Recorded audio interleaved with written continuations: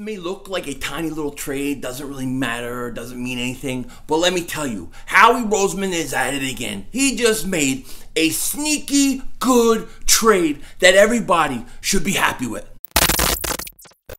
What a what a what a move by Howie Roseman! Whoa!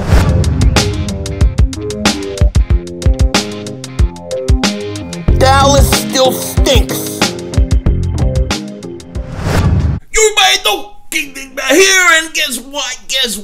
Howie Roseman's at it again. He's at it again. The guy does not take a day off. Ever. Ever. We had one preseason game, and the Eagles have already made a trade, okay? So here's what's happening. Here's what's breaking now.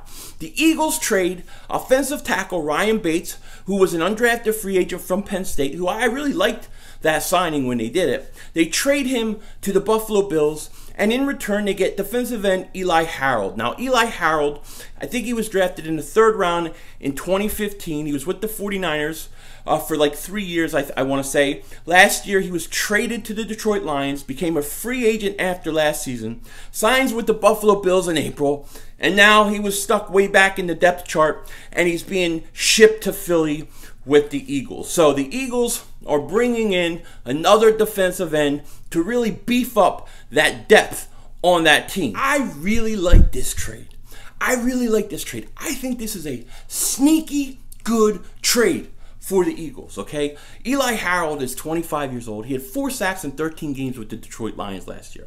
Before that, I think he played like 48, 49 games with the San Francisco 49ers, became a free agent, went to Buffalo, okay? Now he's in Philly, and that experience of him playing, uh, what, three, four years in the league is coming in and is going to compete directly with young guys like Josh Sweat, like Daeshon Hall. And I think this is a good, good thing for the Eagles. I mean, our defense, our defense is predicated on that pass rush. We know it. We know the Eagles have to get the quarterback. They like to rotate guys in.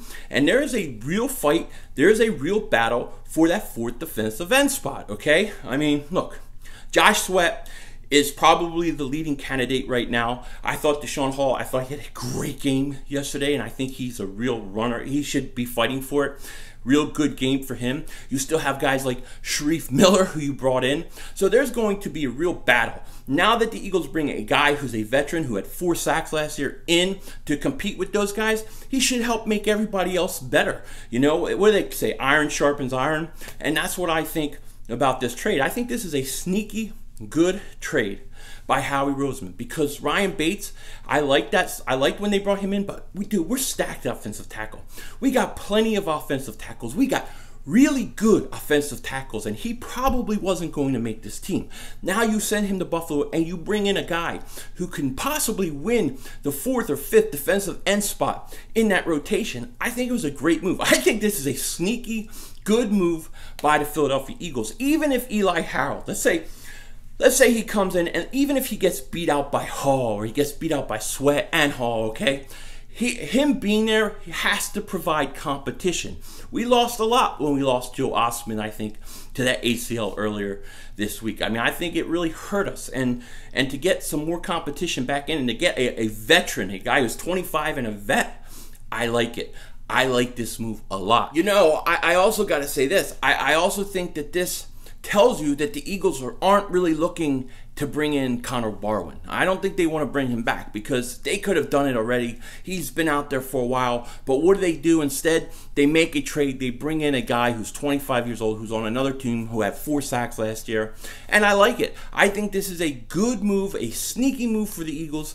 He is a decent player. He is definitely a guy who is worthy of the third or fourth defensive end spot on a team. Okay, so to come in and fight with some of these young guys like Josh Sweat, uh, Hall and all those guys, Shareef Miller. I think this is a, a good thing. Not like I said, not only just for for for Eli Harold, but for the team, for the players that that have to compete against him. Let them all get better. That's what I say. So I'm giving this this trade a A. It's a sneaky trade, and I love it. I love it by the Eagles. With that said, let me know what you think in the comment section. Take care. Talk to you later. Don't be a dingbat.